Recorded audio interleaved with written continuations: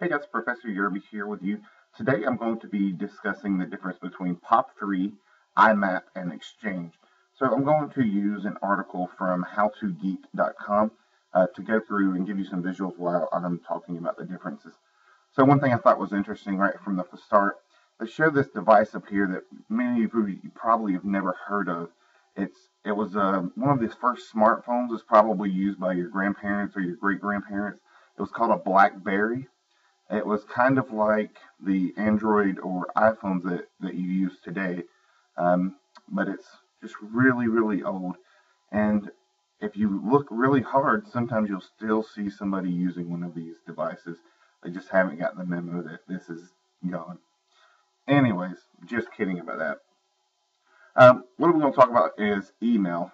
So I'll just go through the order that the uh, article here on howtogeek.com uses. Uh, so first they want to compare an email client to webmail. So your email clients are going to be things like your Outlook, Outlook Express. If you're working, if you're working in the new uh, Windows 8 or 8.1 operating system, they have a built-in email client. It's just called Mail. But all of those are clients. Here you have Thunderbird. It's offered by Mozilla. Uh, that's the same people that make your Firefox browser. So the way a client works is you install the software on a machine and then you set your email accounts up. So right here, I'll have most of the screen blurred out when you see this, but here I have I have um, an email client, so I'm using Outlook 2003, and this is where I can check email you see over here that I have multiple inboxes, multiple sent, delete items. So for me, I have three separate accounts that are created here on this machine. I'll have these blurred out, but there's three separate email accounts here, and I'll show you the first one. So I can do things, I can send receive, I can organize things into folders, I can view them. Uh, these accounts are different types of accounts. So if you look here, uh, I have my first account. It's my college account. It's on a Microsoft Exchange. We'll talk about Exchange in just a moment. And then I also have an IMAP uh, account here, and we'll talk about what that is in a moment as well. All right. So that's an email client. The way it works is you install some software on a machine, and then the messages are downloaded and you interface with them there. The other option is web clients. So this would be things like your Gmail, Hotmail, uh, Yahoo. So if you want to check your emails, you just go to that website. You can check your emails. Now the, the line between these have been blurred because you can get your web mail through email clients now. Uh, but the traditional method is this is going to be checked online on the web by going to their website and you don't have to download anything. So here's a here's an image of what Gmail would look like. Here's an image of what Thunderbird would look like. And remember, Thunderbird is one of our clients, right? And let's see. Now we're going to get to POP3, which is the Post Office Protocol. The 3 is just uh, the version, uh, but you may you may hear people just call this POP. Um, either POP, POP3, it's the same thing when you're speaking with someone. Uh, it uses an older model of offline email. Uh, so the way that POP3 would work is you would have an email server and you would have clients. see if I can draw this out real quick. Okay, so this is my server over here uh, to the, the left right? That's my server, and then all of these are my clients. And the server would get messages from all over the world, get emails, and it would store them until the client was ready to make a connection to the server and say, this is who I am, here's my credentials, here's my username and password, I want to pick up my messages.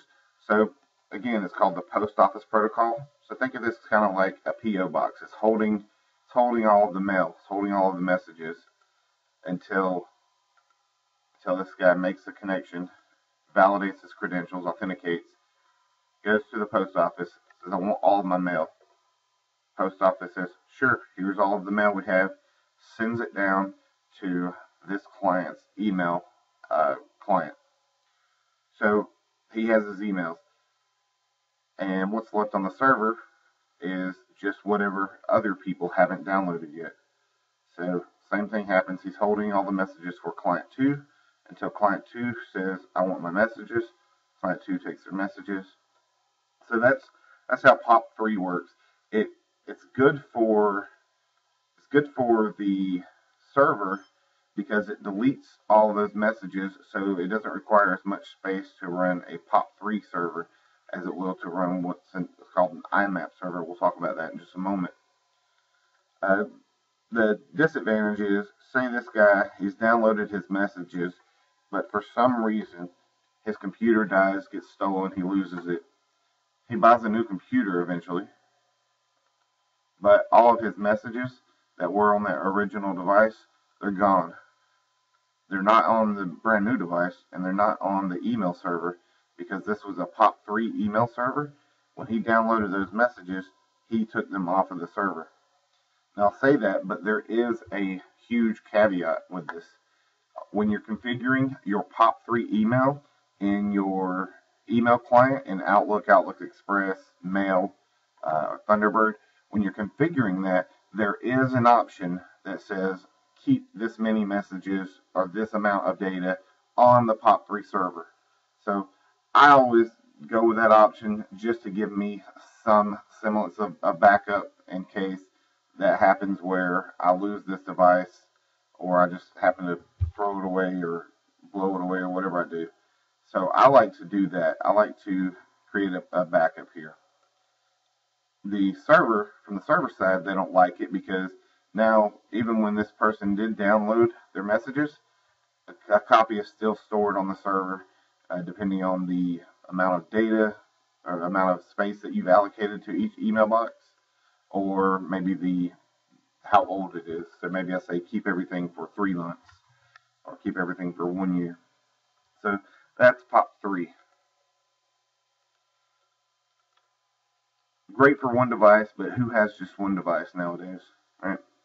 Uh, the next thing is IMAP. It's Internet Messaging Access Protocol.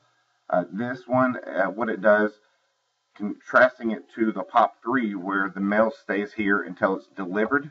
In IMAP, the mail is on the server, it stays on the server. When a client connects, what he's doing is he's viewing the data that's on the server. He's interacting with the server. So this is more of a two-way communication uh, because what's happening uh, for the client is happening on the server. So if he's in a location where he doesn't have internet access, he may not be able to access those uh, emails if they haven't saved a cached copy uh, on his device. So IMAP is much more convenient for uh, places where you're going to be moving around to multiple devices and you might want to read an email now and then also be able to read it later from a different device. So this is becoming you know, more common than POP3. Right? And uh, the caveat with this one again is you'll see that you're limited by the amount of space that you can store on that email box depending on who the service provider is. So companies like Google and Yahoo, they really want your business. Um, it's webmail. You can get your information through IMAP, uh, but they'll give you a pretty large email inbox, but eventually you'll run out. But if you're working for a company or if you're a student at a school, then you'll probably see much smaller limits on the amount of uh, information you're allowed to st store in your inbox. Then we get down to Exchange. Exchange uh, is more more like uh, IMAP. Um, let's see. It's the king of email servers. It has been for a really long time, and it's it's out there. So Exchange is its own protocol. It operates kind of like the best of both POP and IMAP. Uh, you usually want to use a client. I always like to use uh, Microsoft Outlook to work with my Microsoft Exchange.